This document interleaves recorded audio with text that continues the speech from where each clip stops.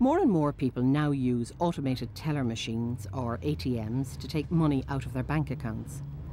Using an ATM means that you can take money out even when the bank is closed. While not all ATMs work exactly the same way, most of them follow the same basic steps. The first thing you need to use an ATM is a card like this one, which you get from your bank. The card has information coded into the magnetic strip here on the back of the card. This information is then read electronically by the machine. So, having put your pass card into the machine, you'll be then asked to enter your PIN number. PIN stands for Personal Identification Number, and once again, your bank will give you this number.